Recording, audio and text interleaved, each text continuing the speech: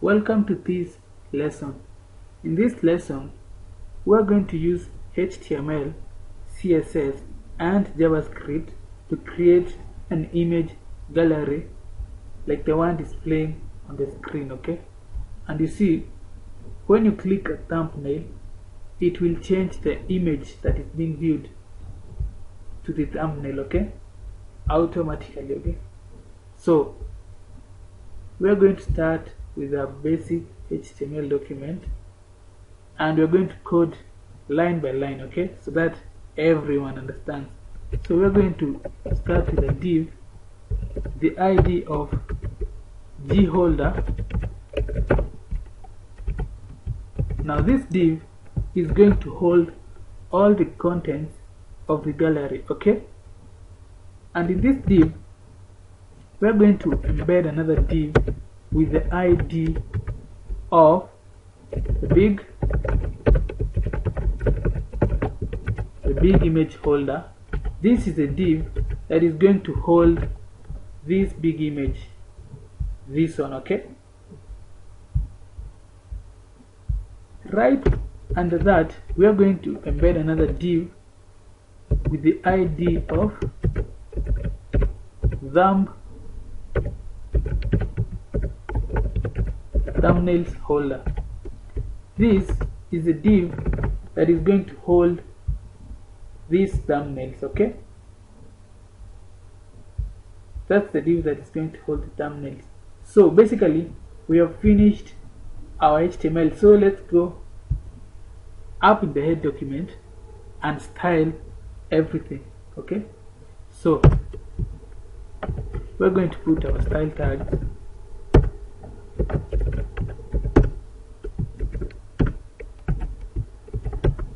and we're going to start by styling the G holder okay? So we're going to style the div with the ID of G holder we're going to give it a width of 600 pixels height 500 pixels margin 0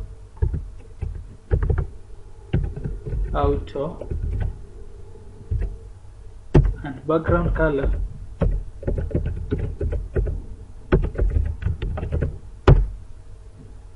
Let's give it silver okay?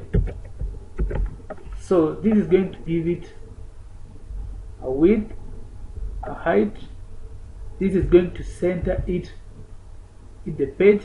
This is going to give it background color. So let's preview that in the browser and see where we get preview. You see we get this silver div here okay? The next thing we're going to style the div with the id of the big image holder okay we're going to give it the width of 600 pixels height 400 pixels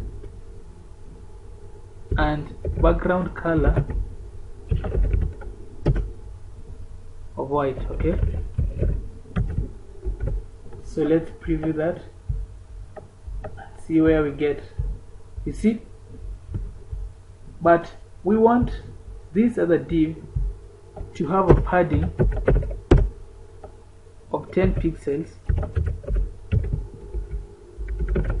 so that it places the big image holder div in the center. You see that's what we want exactly what we want. The next thing we are going to style the div the id of thumbnails holder. We're going to give it a width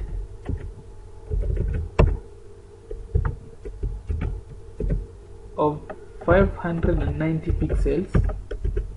Height of 100 pixels. And background color white.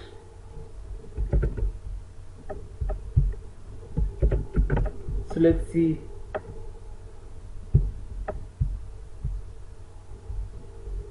gives us that okay? And you see there is this space that is left here. We're going to deal that, with that okay? So first we want to give it a margin.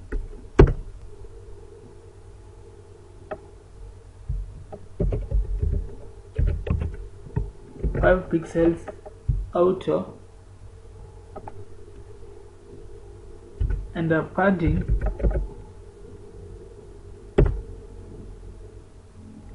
5 pixels okay? So let's see where we get by now. You see that's what we get. The next thing we're going to insert the images inside these divs. This is a div that is going to have big image okay? The source is going to be there is a folder. Let me show you the folder. This is where I'm saving all my files. So there is this folder called images and that's where I've stored my images okay? So there's that folder called images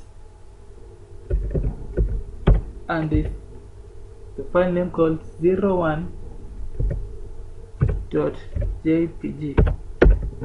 so let's save that. Close it see we have inserted the image but it is so big it is even bigger than the div so we are going to go back to our css and style it okay? So the div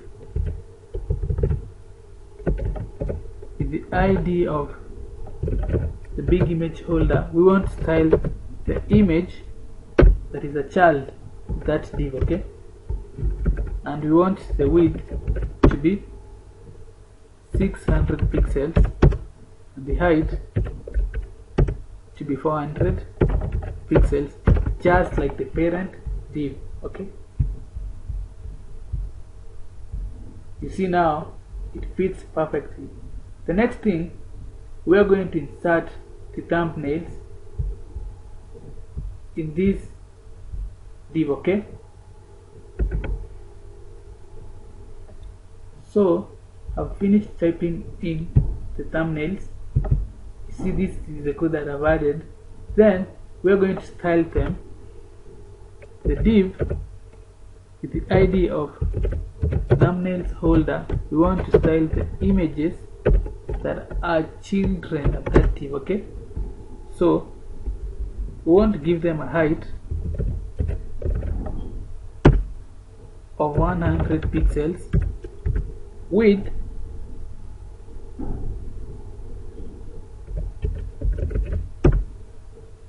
of 90 pixels. Then we want them to display block. Want them to float left. Okay let's give this height of 90 pixels. Want them to display block and you want them to have a margin of 2 pixels okay?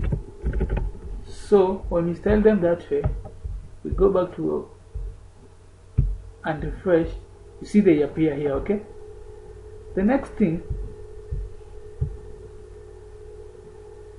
we are going to style them in their hover state okay copy paste. In their hover state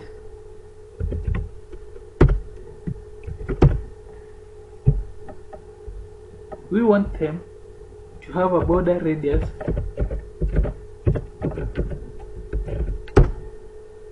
Of 100 pixels. And we want the cursor to be the pointer okay? We want the cursor to be the pointer. So let's go back. Refresh okay you see now the cursor is the pointer. Just the way we want. The other thing we want the first image here to be the big image by default okay? So go back to our HTML and we make this to be the first image like that. You see now first image is the one displaying here by default. So uh, any other thing? We want to give them a transition so that it changes in a in an animated fashion. So border this is the property we want to affect border radius. We want the transition to take a period of 0.3 seconds and it's going to be a linear animation and the delay is going to be 0 seconds okay? So let's go back refresh see see now it's animated okay? It's animated. Now we're through with our HTML and CSS now it's time for JavaScript okay? So we're going to go back to our head element and put the script tag. And by the way you can put the type but in HTML5 it is no longer required. But if you want to put it you can okay? So we want this code to run after the window has finished loading okay? So we're going to add an event listener to the window. The load event. After the window has finished loading that's when we want our javascript to run. And we want this function to, to run we're going to name that as our function and the use capture is, is going to be false okay? So we're going to create that function.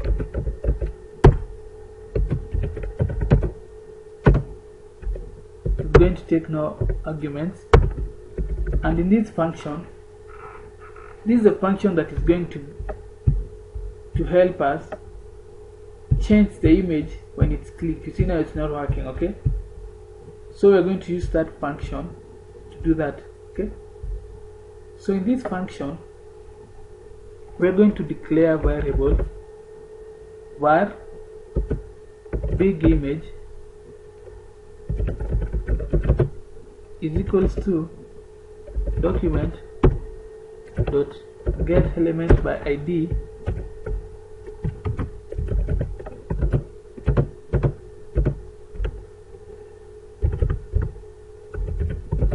big image okay?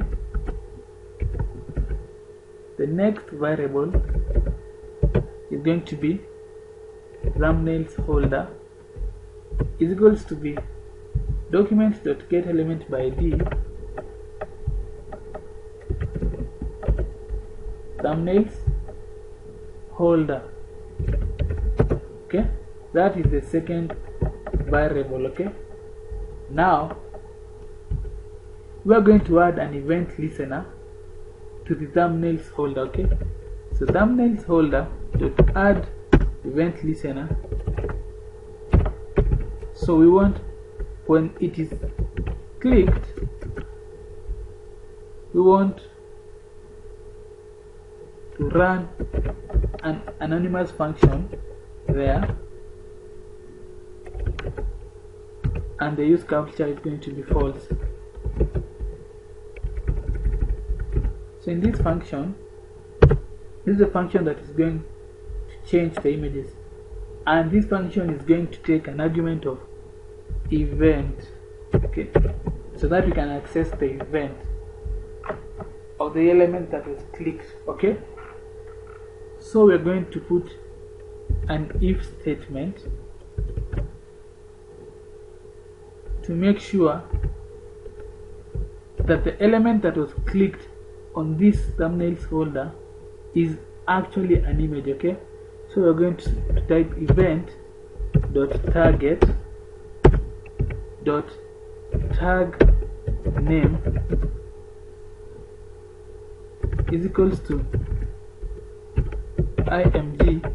So this is going to check whether it is an image that was clicked okay? If it is an image that's when you're going to run this code. Where you're going to set big image. Remember the big image is this object that we we declared here. Dot source is equals to event dot target dot source okay? So that is going to change the source of the image.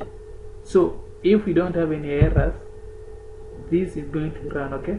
When you go back to the browser when you click it you see it's not changing. So let's refresh. And when you click on an image you see it is changing okay? It is changing. So and by the way remember to give this image the id of the big of big image okay? Remember to put that there okay? So that's it for now. And this code can be written in so many ways. So in the next tutorial I'm going to use PHP to dynamically get all these images instead of writing if for example we had 40 images in a folder we do not want to write all this stuff okay? So we are going to use PHP the next tutorial to dynamically load image names and put them there. And in the third tutorial we are going to use Ajax okay Ajax to load the names and display them there. So that's it for now. See you in the next tutorial. Using PHP it's going to be fun. And Ajax